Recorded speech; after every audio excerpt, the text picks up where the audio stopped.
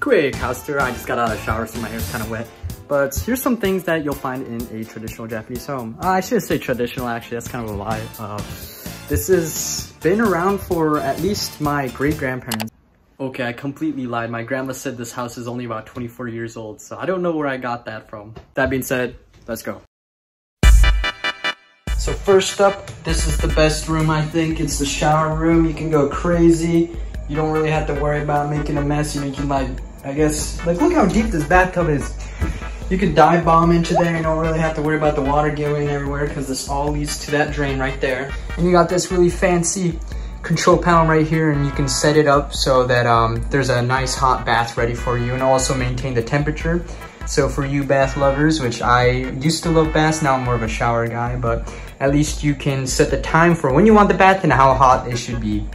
Now I will say a lot of the doors in this house is sliding like that on the ground. That was a bit loud. But also for me, it's right here. I'm going to smack my head if I walk into this. So um, it's mostly these side rooms that have this sort of low height. So I mean, as long as you just naturally instinctively duck down, you won't really have any issues. And this room is actually where my grandpa's shrine is. So I'm not much of a religious man, but um, you come here to pay your respects and also you leave offerings. So yeah, it's a very nice room. I believe this is one of the most expensive rooms in the entire house because uh, you can't see it, but I'll show a picture up, I hope, um, of the shrine. And usually these go, I've heard they can go up to as much as a uh, car, so they're quite expensive, but it's a way to honor your uh, relatives. Now this room, it is a sunroom. Now, I'm sure my mom does and my grandma does not want me showing this house because they're gonna say it's messy, but I think it's fine. This sunroom is where you dry your clothes because it can go an unbelievably hot temperature. I believe the hottest this room could be is around 120 because it insulates pretty well for what it is. And as you can see, it's um, right in the sun's rays. Well, right now it's kind of like, you know, it's already four, so the sun's setting, but during the peak hours of the day, it is hot the beautiful, beautiful entryway. Now this, whenever it's nice and light out like this, it looks very majestic. But it's kind of annoying because this um, doorway is actually out of the way. There's a closer doorway right behind me, uh, which uh, we use mostly use, but it's about like that much size. It's really small, so you can't really put too many shoes. So I always gotta go over here, put my grandma's shoes, go to the other one, and then uh, deal with that. But yeah, so this is um, one of the main entrances. This is mostly where uh, obviously all the mail comes in. I don't know if it focuses. The mailbox right there. Um, uh, most of the delivery guys actually walk in and they usually sign or something. So it's a very nice, cozy. It's very, I don't know, aesthetic. I also got our uh, our bike in here because the garage is kind of full. And this is my my mom's old bike actually. I had to dismount the rusted uh, child's thing. This is actually called a mamachari. And this is the bike that uh, my mom used to drive me around because there was a little uh, child place in the back. This is also the really old net I used to use to catch bugs. So we got this really cool display display case. There's a lot of stuff in here. Now this is the room. My throne, look at this. Up.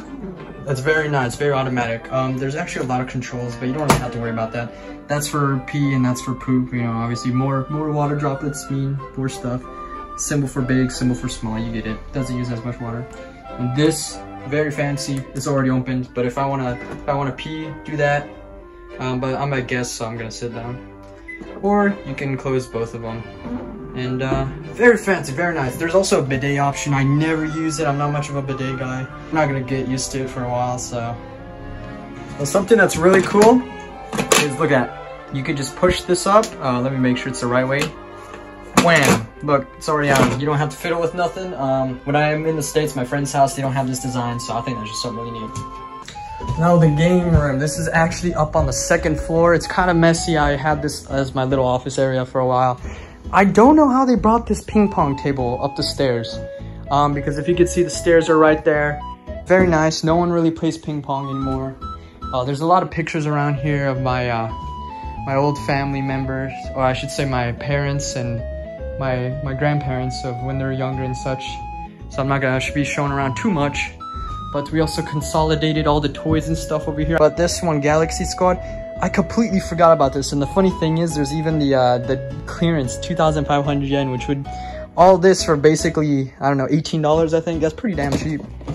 And also, there's a piano up here, and there's also a piano downstairs.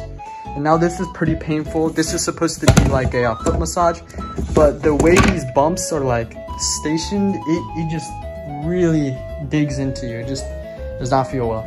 So this room does not have air conditioning at all.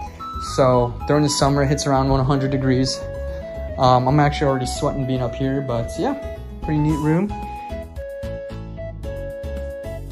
To wrap things up, we actually got a garden now. This part might seem small. We actually have a lot more land right around that corner.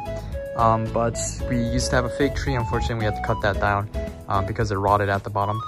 But we have tomatoes, cucumbers, edamame, and I'm not too sure what that tree is, but we have all sorts of stuff growing. So I'm very fortunate that my grandma likes doing this stuff. Very cool. If you guys have any questions, do please tell me down below. I'll try my best to answer, but I can't promise I have an answer for everything. Now, this is just some a few of the things that I think is the uh, biggest differences from the houses back in America.